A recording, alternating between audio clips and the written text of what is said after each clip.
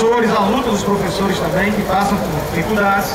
Eu gostaria só que quem fosse pegar o microfone evitasse qualquer fala em relação à política ou a político. É, vou passar agora a fala para o nosso advogado criminalista, doutor Niésio Rodão, mas antes disso eu quero agradecer a presença aqui dos bombeiros civis que fazem o resgate nas estradas do Rio Grande do Norte, Anjos da Estrada. Muito obrigado por apoiando aqui a nossa luta. Gostaria de chamar o advogado, o criminalista da nossa associação APRAM, nossa associação de luta, doutor Niésio Rodão. Doutor Niésio Rodão, advogado. Bom dia, cidadãos moçoroenses. Bom dia, trabalhadores da segurança pública, militares e civis. Bom dia, trabalhadores também da universidade, estão também com a gente, nos apoiando e nós também os apoiando. Rapidamente eu tentarei explicar aqui, juntamente com meu colega, se precisar, Roberto Barroso, por que é que a Polícia Militar não está em greve.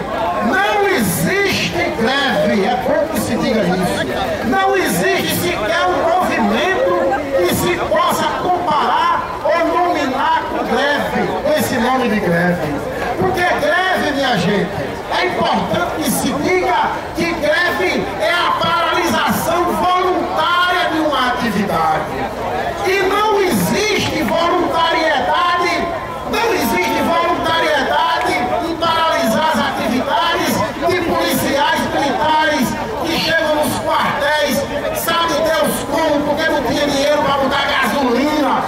Veículo e teria que ficar exposto numa parada de ônibus fardado numa sociedade como essa, que se a gente não cuidar, daqui a pouco será dominada por, por pelo PCC e por outros, e pelo sindicato e outras organizações criminosas.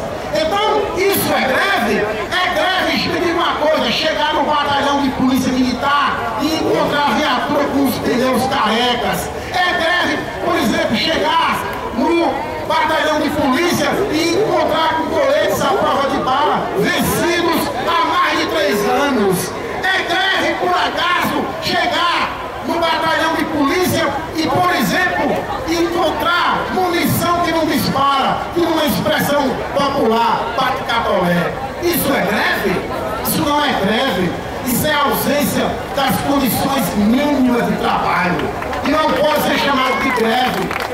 E a gente sabe que o crime de motim, que seria, em outras palavras, a greve militar, teria que ter uma, para se configurar tipicamente, uma adesão voluntária de todo mundo. Mas como é que pode? Se você chega no batalhão, se apresenta para trabalhar e não tem as condições mínimas, o batalhão, por exemplo, o segundo batalhão de polícia, tem pobres nove viaturas em condições de uso e sai às ruas todo dia essas nove viaturas. Então não há greve. O que existe, minha gente, é importante a gente frisar, é uma tentativa de criminalizar o movimento. Isso sim, de criminalizar. E na verdade, não se pode nem chamar de movimento. Há é um sentimento de desprezo, tá certo? Com a categoria, um sentimento que provém da ideia, da ideia nefanda do chamado Estado mínimo, de não investir mais no Estado, e para isso sucatear a coisa pública, principalmente as polícias que precisam o tempo todo de munição, de viatura, de treinamento e de efetivo, porque o último concurso que foi feito, grande parte dos policiais que foram convocados não puderam exercer, porque fazia mais de 12 anos e alguns não passaram nos testes de aptidão física. E a gente sabe que isso tudo é verdade.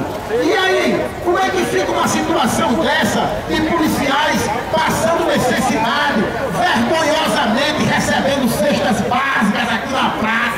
Isso é uma situação de vergonha, é uma situação de tristeza. Isso sim, isso é uma situação de indignidade humana. E a polícia não deveria ser Por isso nós conclamamos o apoio de toda a população. É bom que se diga, para encerrar, que o policial que todos os dias arrisca sua vida, já está arriscando em dobro saímos nas ruas para nos defender, porque quando a gente está numa situação dificílima, acossado com crime, diante dos, dos crimes horrendos que têm acontecido todos os dias, por quem é que não for pela polícia militar? E como é que ela pode comparecer se com as viaturas quebradas, com os coletes vencidos, com a munição que não dispara, com a arma danificada?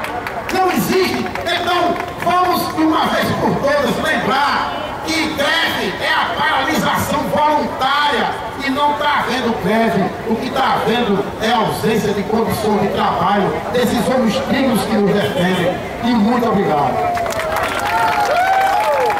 Advogado Rodão nesta manhã de sábado aqui em Mossoró.